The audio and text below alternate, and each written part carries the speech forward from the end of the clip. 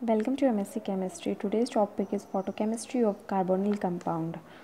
Um, this is carbonyl, and when uh, it uh, in the presence of light, it will form the radical on one on carbon car- on carbon, and another one is oxygen. Then uh, in next step, it will take both radical. And uh, photochemistry of carbonyl compound consists of four type reaction uh, alpha cleavage, beta cleavage, and intermolecular or intramolecular hydrogen abstraction by carbonyl oxygen and addition of carbonyl oxygen atom to a carbon carbon multiple bond. But in this video, we only discuss about Norrish type 1 reaction means alpha cleavage. Norrish type 1 reaction uh, it consists of three steps. First, uh, there's a primary process there's a primary process in which uh, there's a cleavage of alpha bond. This is functional group and this is alpha position of um, this bond and uh, there's a cleavage of this bond on pre- in presence of light then it will form acyl radical. This is acyl radical and this is alkyl radical. Then these radical are stabilized by secondary process.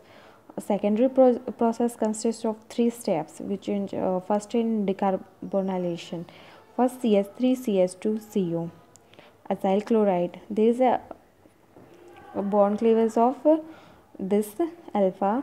Then uh, this forms CH3CH2 plus CO. Then this CH3CH2 combined with again CH2CH3 and form a simple alkane chain.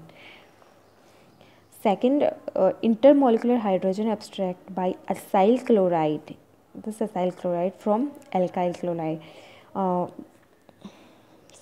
this alkyl radi uh, radical cs2 cs2s there then this radical is here and this one is here and it form bond because there is a one radical here and one and this one form bond and this one h transfer to this one cho then there's a formation of aldehyde and ch2 alkene.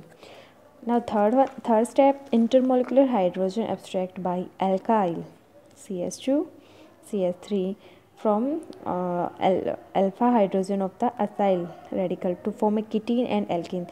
Then there is a formation of ketene and alkene in third step.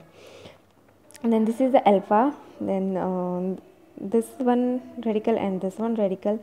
This one shift to this one. This H um, shift to here, and this one form a double bond uh, here this radical and this radical form double bond here then there is a formation of ketene and alkene so these are the three step of primary secondary and uh, secondary consists of three also uh, decarbonization second first second step में क्या होगा एक बार तो हमारा ये जो alkyl है यहाँ से एब्स्ट्रैक्ट होगा एच और एल्डिहाइड बनेगा। थर्ड में क्या है कि हमारा एल्काइल एब्स्ट्रैक्ट करेगा कार्बोनाइल से एंड फॉर्म किटी